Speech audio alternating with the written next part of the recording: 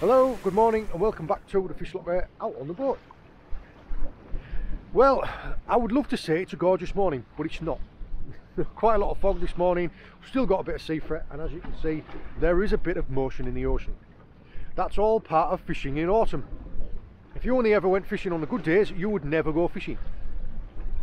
What we have got at the moment is we have, uh, we're just on the backside of some springs, so that means the tides are starting to get a little bit smaller and we're going to be fishing over an area of reef and rough ground with lures. That's going to be jigs, soft plastic lures, that type of thing. And we're fishing for pretty much anything we can find. wrasse bass, pollock, cod, anything. I'm happy to catch anything. Just trying to have a good day out on the boat. So, wish me luck. When I first got here, wind and tide together and we're just drifting a bit too fast. Drifting at like two and a half knots. So just down, I haven't been able to keep the lure on the bottom. So what I've done, if you can see, is I've got a drogue out just down there. And all that's doing is it's just holding me back a little bit.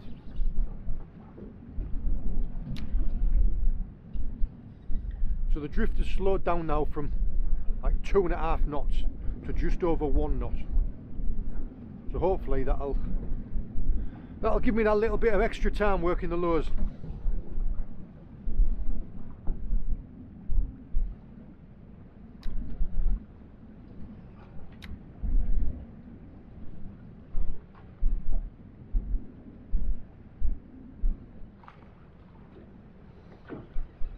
I have had a couple of hits.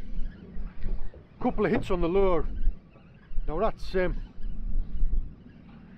it shows that there's fish there, but what it usually shows is it shows that they're small, like small little schoolie bass, or even big mackerel will strike at a lure this size, but they're just not big enough to take it. Like a big bass will come up and just absolutely engulf it.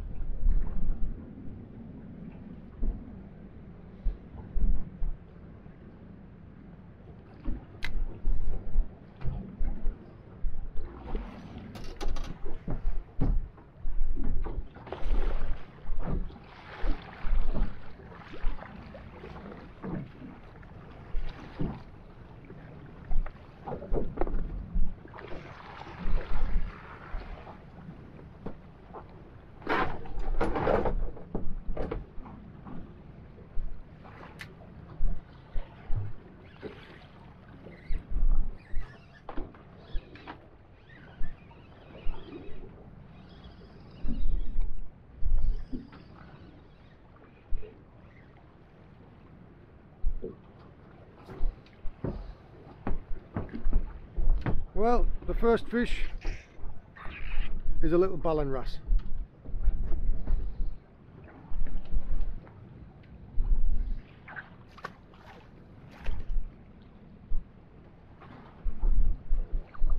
That lens is soaking.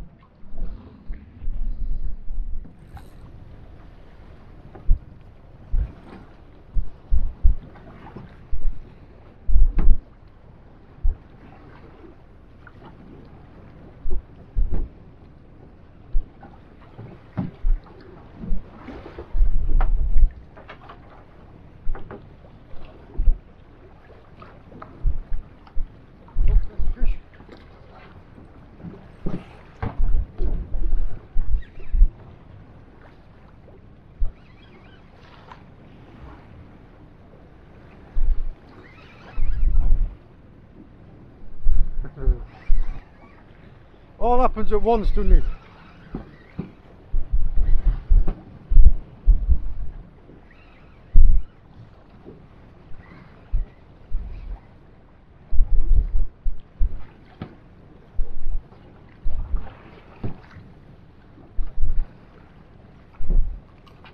Finally, first decent fish.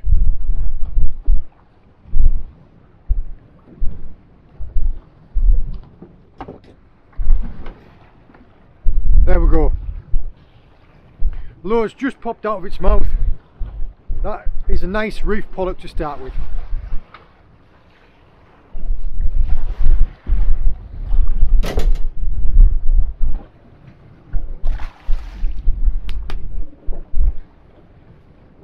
and that was what it was caught on.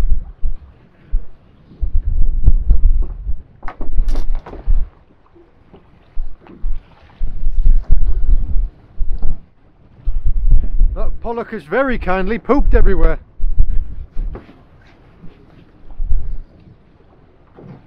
Let's get back at it.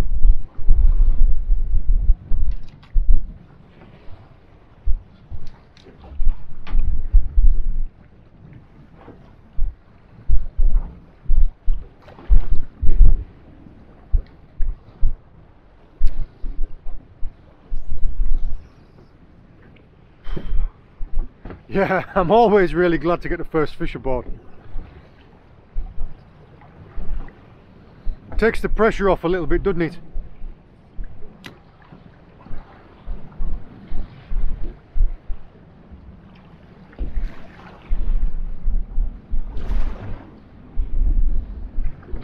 If we didn't have that drogue out, we just wouldn't be able to do this. We're still drifting at 1.2 knots next to no tide at all and we're still drifting at nearly three knots without the drogue.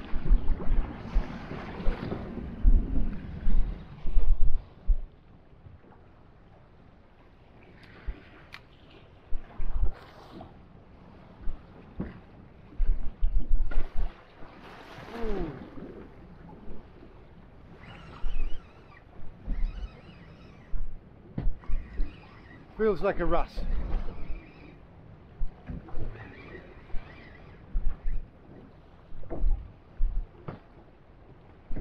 Feels like a wrasse because it is a wrasse. Lovely looking one.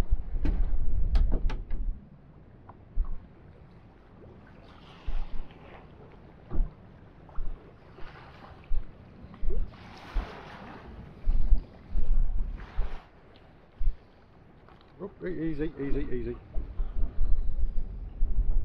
There you go.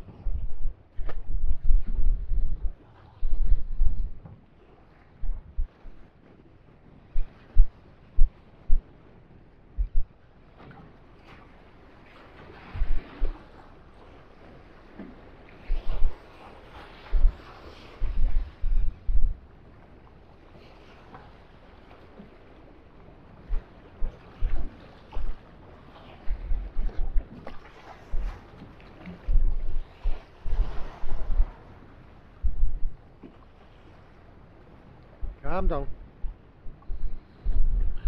And there is a little bar of silver. There you go. Made me work for it.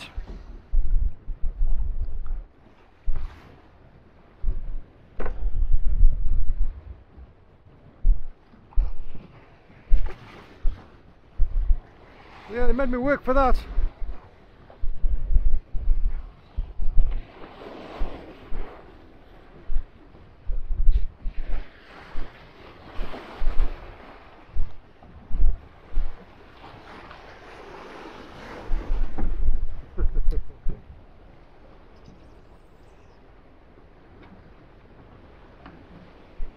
Some days they just make you work that little bit harder.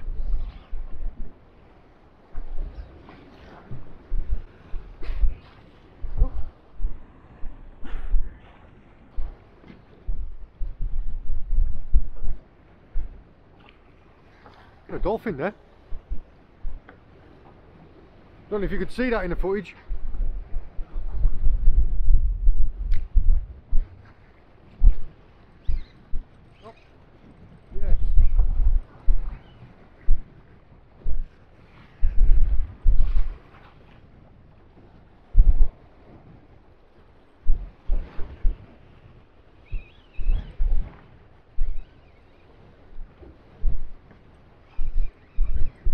Heavy.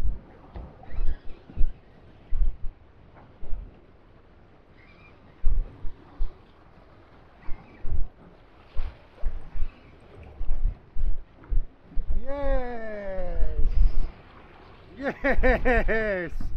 I'm happy with that.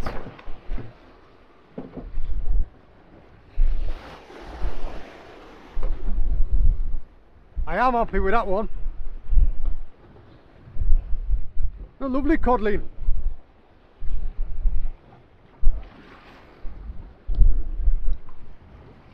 Oh, there's a lure in its mouth.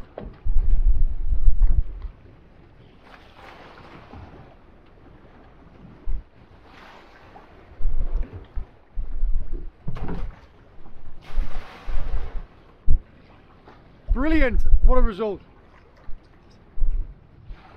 Four species. Wrasse, bass, pollock, codling.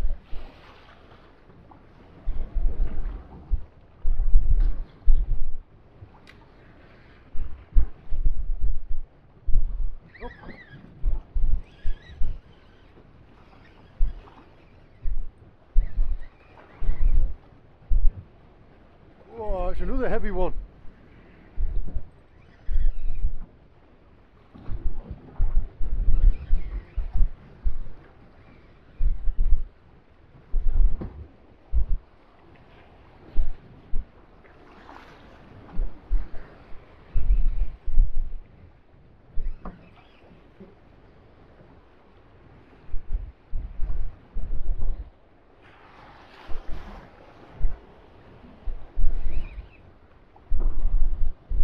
Oh.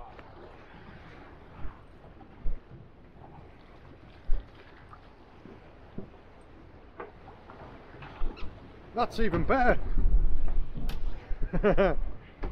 oh yes. How about that? That is a beauty. That's a lovely bass.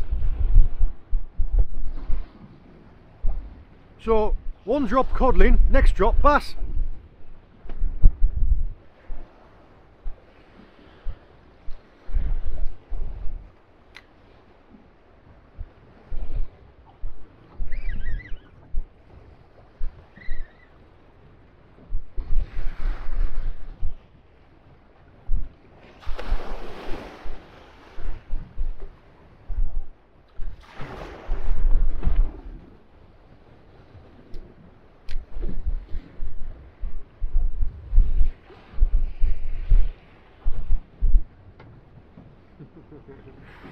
You wouldn't believe it, but I've actually been fishing for four hours now.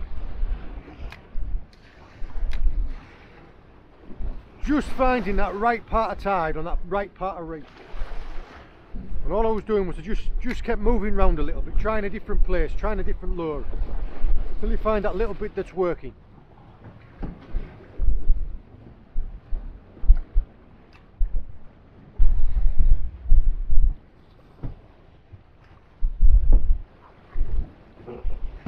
Right.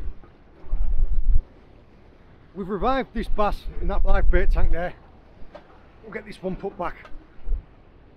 They are a great eating fish, but I have some cod and some pollock, so I don't mind putting this one back.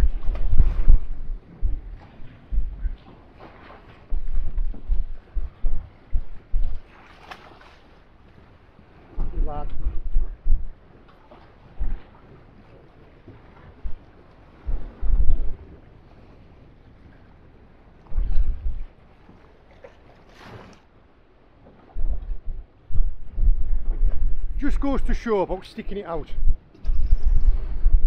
If I could give you one piece of advice, it would. I could have sacked this off. I could have sacked this off hours ago and gone home because it wasn't very comfortable and it's, it's not the nicest day and the fishing wasn't great this morning. But just by sticking it out, just by giving it that little bit extra effort, by trying that like one last cast type thing,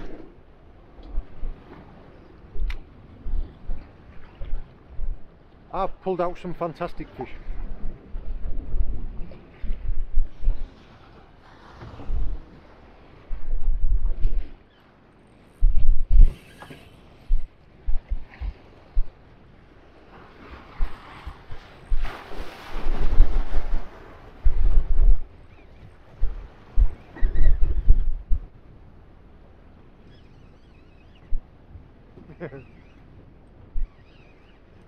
always happens at once, doesn't it?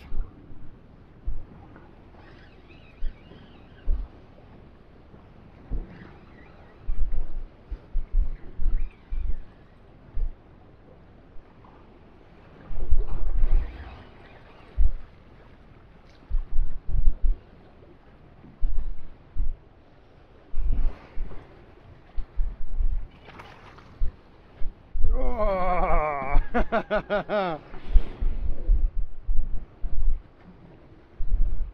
Look at that. Oh, lure's just popped out. That is a fantastic eating sized pollock. What a stunner.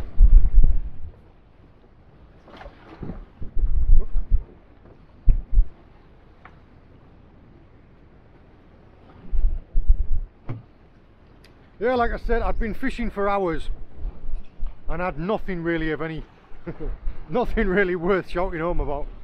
A couple of little tiny wrasse. And it's just about trying different areas. I mean, it's all the same area of reef.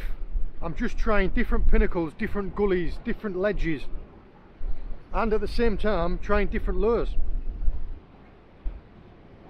Because fish, they can be quite fickle.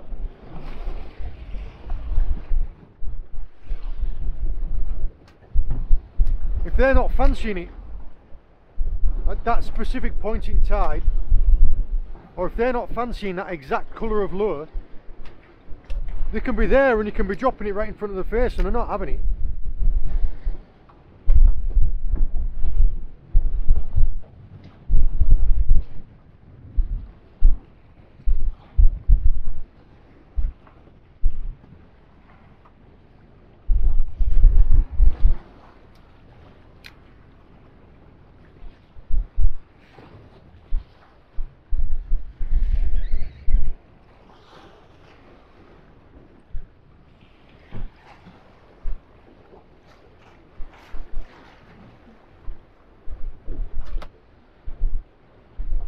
fish.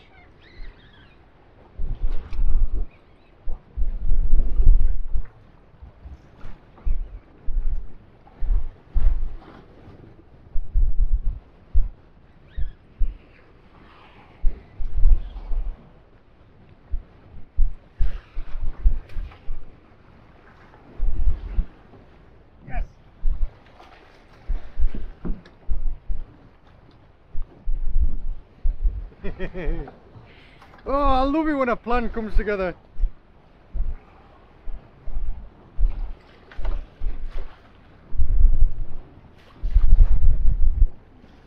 Another lovely codling.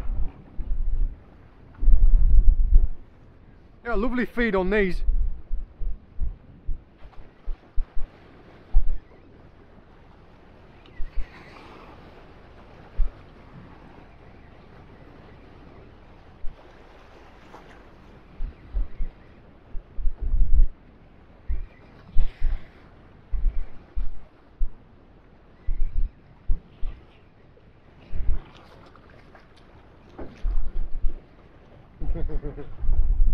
An angry little schoolie. I've got some attitude in them, these guys, haven't they? They're covered in spines. And they really do know how to use them.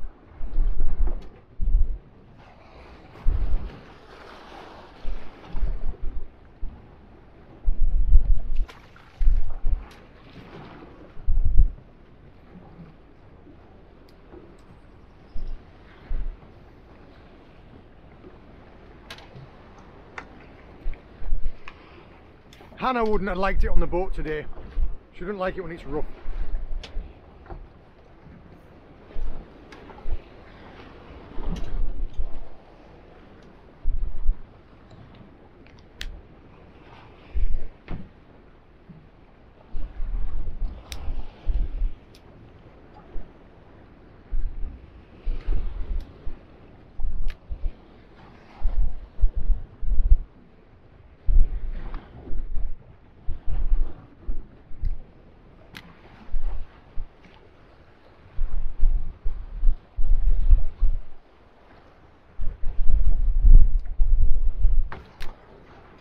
All I'm doing is this area of ground is really up and down.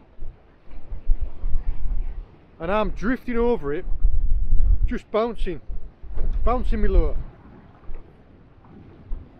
fishing near the bottom because cod I was hoping for cod thought it was a little bit early for him but cod most of the time live flat on the seabed. They're right on the bottom rooting about for crabs and things Pollock and bass are slightly off the bottom, so you will catch all three. But yeah, I'm just playing the lure around down on the seabed. You might see me looking back at the sounder, but that's because if I'm coming up a rise of, a, of like a piece of a peak of reef, I need to know to wind in, otherwise I'm going to snag up and lose my gear. Tackle losses when you're fishing like this, they are inevitable. Just part of it.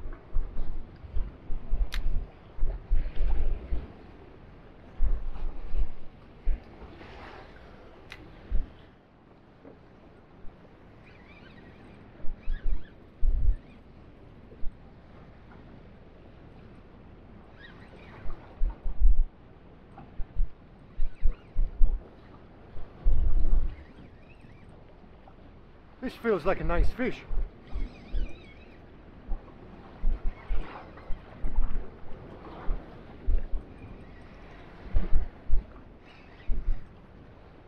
A very nice fish. Yes! Yes! A lovely cod.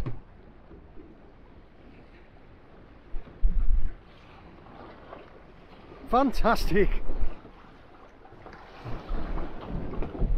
Well, ah, we're slopping about a bit, aren't we? There's the lure.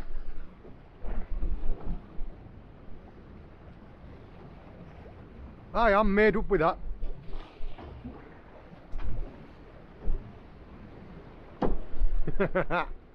Brilliant!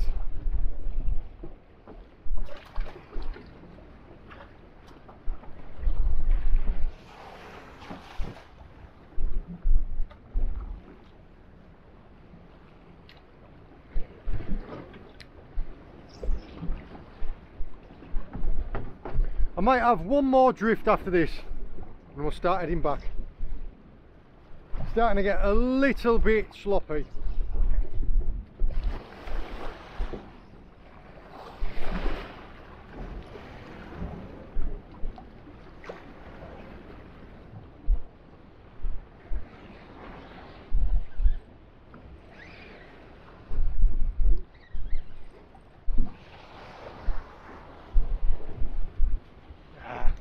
This is the problem about being up and down all the time.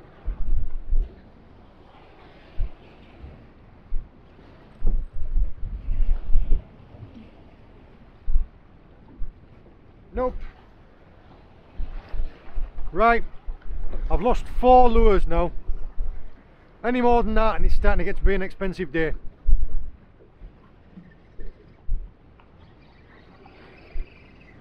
When there's that much swell like that, you can't tell where you are on the bottom and you end up getting hitched up.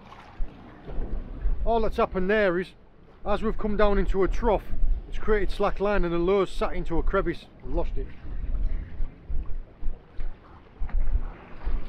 yeah, that leader this morning was about seven foot long. Now it's like two foot long. so yeah, tackle losses are inevitable.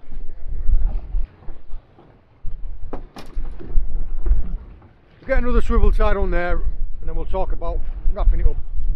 Right, I've had enough. I've tied it down, I've tied a new leader onto that rod. I'm just losing too many lures. Because, because there's that much swell, you just can't keep in contact with the lure and I'm hitching up in the bottom. Lose more than a couple of lures and it starts being a very expensive day. But um, yeah, turned out to be a good day's fishing. on Oh, massive bumblebee. the bumblebee like that big just round the boat.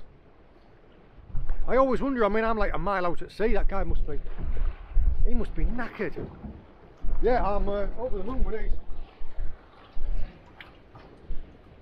Had some fantastic codling. I'll get him dispatched in a minute. But yeah, I'm over the moon with that. Uh, all four species that I said I was going to probably catch today, which was uh, bass, wrasse, pollock, codling, got all four of them. Can't complain at that.